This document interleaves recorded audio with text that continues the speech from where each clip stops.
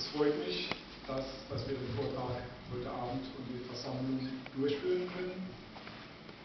Ähm, leider jetzt erstmal Umsport auf der C-Platz. Ich kann mir vorstellen, dass sie den Vortrag bei nächster Gelegenheit nachholen wird, denn das Jahr 2008, 2009 war von der Ausgrabungsseite hochinteressant, was Frankenheim angeht. Ich habe, wie gesagt, so einen kleinen improvisierten Vortrag gemacht, den ich Ihnen mal zeigen möchte, um Sie auf den aktuellen Stand der Ausgrabungen zu bringen und Ihnen auch mal so ein bisschen im Vorfeld die Aktivitäten erläutern will, die im letzten Jahr passiert sind. Letztes Jahr war ja die Gründung.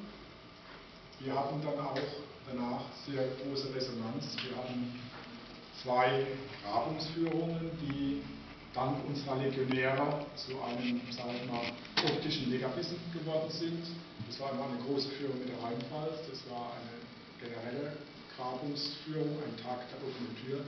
Wir hatten öfters Veranstaltungen mit Schulklassen, die auch auf der Grabungsfläche waren. Wir waren im Wildgehege und bedingt durch das Wahljahr hatten wir auch zwei mal die Möglichkeit, uns in der Mozartschule als äh, Förderverein Archäologiepark zu präsentieren. Gleichzeitig haben wir an diese Erfahrungen angeknüpft und haben ein kleines Programm für das Jahr 2010 ins Leben gerufen. Es wird jetzt am 16.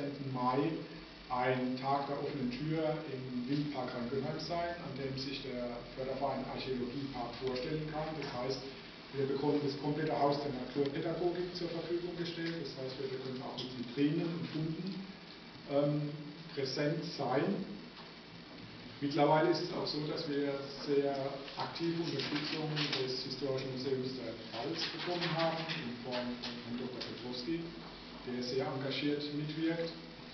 Des Weiteren wird dann ein Hoffest geplant, das hier in Göttingen stattfindet. Der Termin steht noch nicht genau fest, da sind wir noch in der Abstimmungsrunde, dass man auch mal etwas für das leibliche Wohl tun kann und auch mal in einer gemütlichen Runde beisammen sitzen kann, um den Verein zu präsentieren, aber auch, dass sich die Vereinsmitglieder näher kennenlernen und auch im Prinzip, äh, sage ich mal, Interessierte ganz lässig zusetzen können.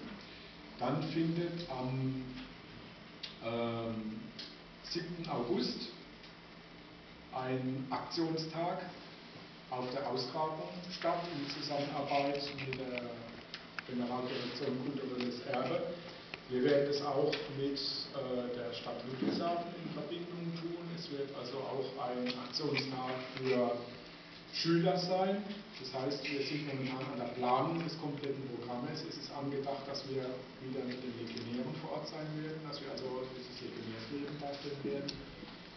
Legionäre Auskunft geben werden. Bogenschießen ist angedacht. Es ist auch so gedacht, dass zum Beispiel ähm, eine Kindergrabung stattfinden kann. Das heißt, dass also Kinder ein vorpräpariertes Gelände finden, auffinden werden, wo sie graben können mit Unterstützung der Denkmalpflege und dann auch die Funde entsprechend äh, katalogisiert, vermessen und so weiter werden und die Kinder dann diese Funde mit nach Hause nehmen können.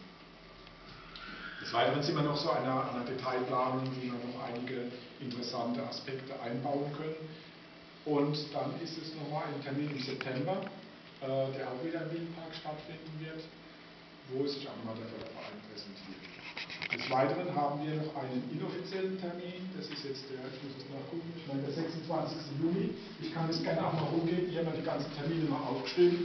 Der 26. Juni, das ist also ein Tag, an dem der Herr Lutz auf der Saalburg sein wird, aber in einem anderen Zusammenhang, nicht im Zusammenhang mit dem äh, Förderverein, aber wir nutzen diese Gelegenheit, um vor Ort in Abstimmung und mit Genehmigung von der Leitung der Saalburg von Dr. Schallmeier vor Ort, sag ich mal, so Bilder unserer Legionäre äh, aufnehmen zu können, einfach mal so eine Art Portfolio an Fotografien und so weiter zu sammeln.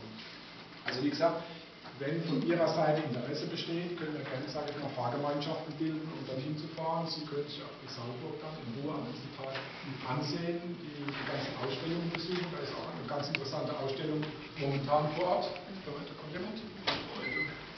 Hallo. Machen Sie mich natürlich. Ja, ähm, eigentlich würden wir das halt, sage ich mal, so nutzen, da eigentlich so, so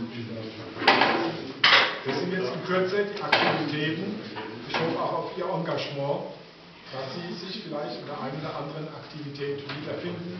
Das heißt zum Beispiel bei diesem Aktionstag auf der Ausgrabung oder bei dem Tag im Windpark. Es gibt viele Dinge, die wir tun möchten, das heißt die Ausstellung vorbereiten, sei es dann Bewertung. Wir werden versuchen, äh, römische Gerichte zuzubereiten, also dass wir das relativ stilrecht mit entsprechenden ähm, Sachen ausführen.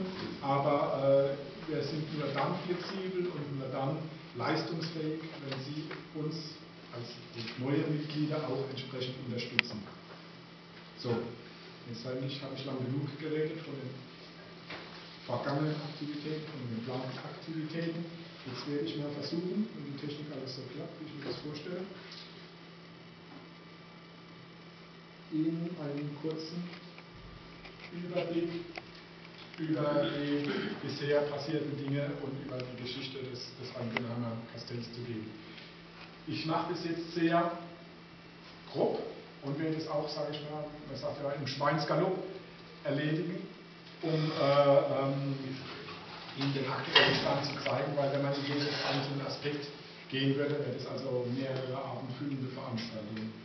Ich habe das mal grob gegliedert für diejenigen, die selbst mit dem Kastell noch nicht vertraut sind. Einmal die Lage des Kastells, in Grabungen und Funde, den Begriff alles nur Müll, der Aufbau des Auxiliarkastells, die Besatzung. Wie gesagt, das alles ist jetzt alles sehr improvisiert. Ich habe nämlich einen alten Vortrag genommen und habe da die neuen Bilder eingebaut. Das heißt also, ähm, das kann auch zwischendurch mal ein bisschen holprig werden, weil, wie gesagt, das ist heute Mittag um 15 Uhr erstellt worden und jetzt waren halt gerade so zweieinhalb Stunden naja, Akklimatisationszeit.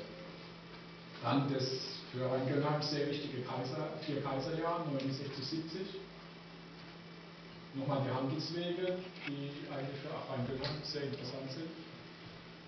Und am Schluss unser Ziel des Fördervereins der Archäologiepark. Gut, steigen wir mal kurz ein.